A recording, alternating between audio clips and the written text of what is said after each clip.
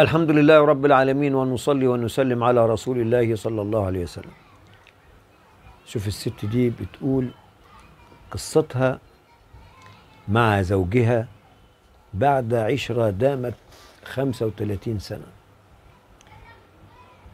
بتقول هذه السيدة أن الرجل هو الذي يضحي بجميع الأشياء التي بين يديه ليعطيها لزوجته أو أبنائه أو لأمه أو أخته أو أباه أو حفيده. الرجل هو الذي يضحي بشبابه وصحته من أجل زوجته وأولاده. من خلال عمله بشكل متواصل وأحيانا لأوقات متأخرة دون أن دون أي تذمر أو شكوى. وهو الذي يحاول بناء حياة عائلتي ومستقبل أولادي ولأدى به ذلك إلى الاشتغال بعملين أو أكثر ولو على حساب صحته. وهو الذي يكافح ويناضل بشكل دائم ثم يتحمل عتاب أمه وأبيه وتوبيخ رئيسه في العمل. وفوق كل ذلك فاللوم كل اللوم يقع على رأسه دائما.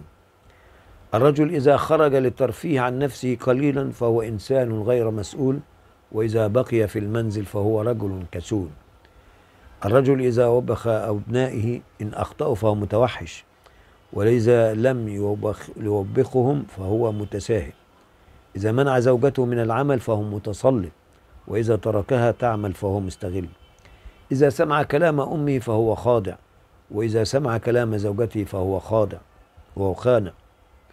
وهو فهو خانع. ورغم ذلك فالأب هو الإنسان الوحيد في العالم الذي يتمنى أن يصبح أولاده أفضل منه في كل شيء. الأب الذي هو الذي يرضى عن أولاده ويدعو لهم بالخير وهو في قمة خيبة أمله منهم.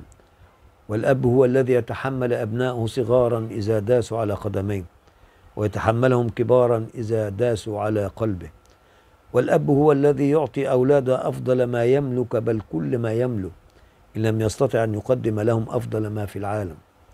وإذا كانت الأم تحمل أطفالها تسعة شهور في أحشائها فإن الأب يحمل أبنائه في عقله وتفكيره والعمر كله. وتنتهي المرأة هذه المرأة الشجاعة التي تقول وتعترف احترموا كل رجل أو أب في حياتكم فأنتم لن تقدروا ولن تعلموا أبدا كم التضحيات التي يبذلها من أجلكم. اعتاد أبو دجانة أن يكون في صلاة الفجر. شوف القصة دي بقى الجميلة دي. بتحكيها برضو.